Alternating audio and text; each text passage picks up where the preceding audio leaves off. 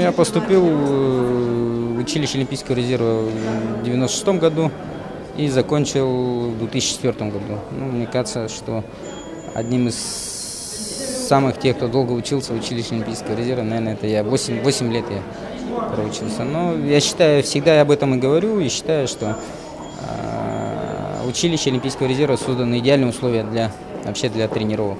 Ну, как для спортсмена, как для профессионального спортсмена, потому что человек может спокойно до обеда учиться, утреннюю тренировку тренироваться, ну и обязательно вечерняя работа. Ну и благодаря, конечно, тому, что я поступил в училище Олимпийского резерва, то, что я там обучался на протяжении 8 лет, соответственно, и добился высоких спортивных результатов.